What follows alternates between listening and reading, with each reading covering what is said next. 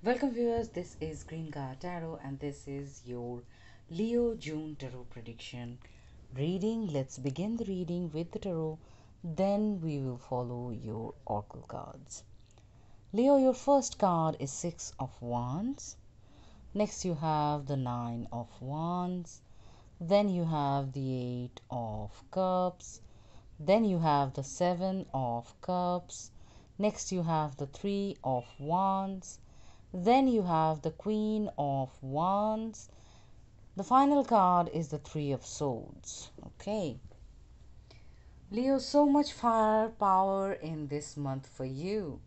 You are ready to rock.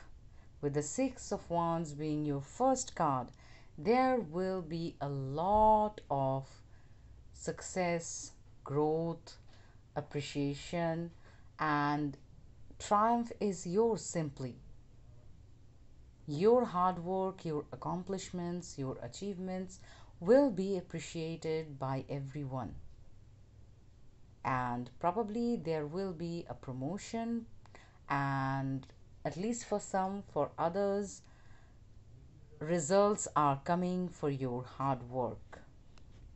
The next card is Nine of Wands. This is the card that tells that it's time for you to lower your guards down and move forward. Don't doubt your path, don't restrict yourself. It's your time to plan and move forward. Don't worry and don't hesitate. Yes, probably there was some kind of past situation that is shadowing your mind, your thought, and your emotions, but it's time to heal, it's time to proceed forward. Don't stop yourself because the very next card is the Eight of Cups.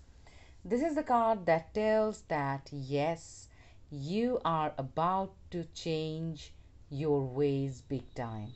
You are changing, you are changing your ways, you are thinking of starting something new whatever it is it is not going to be old school anymore. You are turning the situation around big time.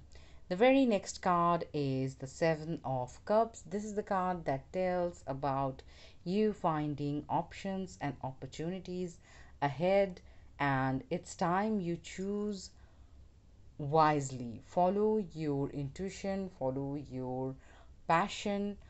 Don't settle for anything less than what you deserve. And definitely be careful of choosing any option for yourself because every option have a different results with a different way you need to decide upon what you know what you want and how you are going to do it. Your next card is Three of Wands. This is a card that tells about connecting from connecting to the far. This can be opportunities coming from a foreign land. This can be a long distance relationship. This can be a scholarship. Whatever it is, it is coming from very far and you have been waiting for this big opportunity of a lifetime for a while now.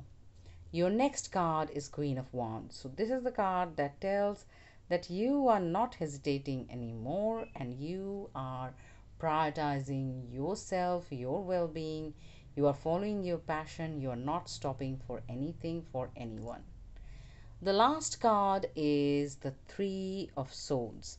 This is the card that is the card for disappointment and I'm going to look for a clarifier for this because this one came in the end and raised some questions what's this disappointment about in which field in which aspect you will see this disappointments and at this point let's see star card okay so this clarifier says some kind of wish fulfillment that was about to come, it will disappoint you. This can be temporary situation also. Maybe you thought something will come around a fixed time, it will come late, but my advice don't be disheartened so much because time is changing, energies are changing all the time. So, whatever comes your way, don't forget you are the Queen of Wands and you can deal with it. With the Six of Wands being the first card, you are the winner in this month of June, Leo. So treat yourself like that. Let's see what we have for you in the Oracle cards. Your first card is Chop Wood. This is the card that tells about clearing old energies and welcoming or creating space for new and appreciating the mundane, practicing gratitude to welcome more abundance and blessings in your life. The next card is higher power. So, no matter what the situation is, don't worry. You got this because the higher power is there with you. They are blessing you and they are guiding you and protecting you. Your next card is hostilities. This is the card that tells no matter what, prioritize your well being. Don't let anyone undermine your priorities. You need to stand your ground, voice your truth, no matter what goes on around, and no matter who you are up against. You need to think and act accordingly, according your priorities. Let's see the next card be fearless and bold. It's time, Leo. You need to be fearless and bold. Don't worry. Just stand your ground. You got this. Your love messages are this could be the one. You have already met the romantic partner you seek. So either they are in your life romantically or you know them as a familiar face but not as a romantic partner yet, but you have kind of intuitive nudges or some kind of attraction, and you can definitely explore those emotions. Your next card is attraction. You attract romantic love by enjoying this moment fully. So enjoy this lovely opportunities of celebration of love. You must not worry, you must not stop yourself. Whatever it is that you want to achieve that, you have to celebrate what you already have. You have yourself. Self love is something that you need to prioritize. Your final card is express your love. Go ahead and make the romantic gesture. So, if you are in the beginning stage of the relationship, it's time to express the love.